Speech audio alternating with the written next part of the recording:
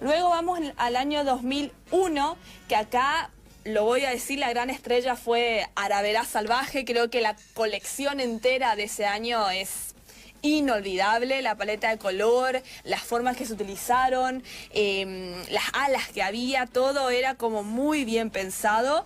Y tenemos, por supuesto, al gran Hugo Aguirre, que fue ese guacamayo fantástico que es imposible que nos olvidemos. Un traje totalmente recordado, campeón, por supuesto, como mejor traje del carnaval de ese año. Y ustedes vean las dimensiones que trabajó Hugo, cómo armó las alas para representar al guacamayo, ¿no? O sea, para ese año, para el 2001, tener un traje así, con, esos, con esa paleta de color, con esos juegos de plumas que tiene gallos, tiene amazonas y amazonitas en diferentes colores en degradé y hay una foto de la parte de atrás del traje también que ahora van a mostrar donde tiene como la cola del guacamayo hecho con faisanes, eh, los largos, los ribís.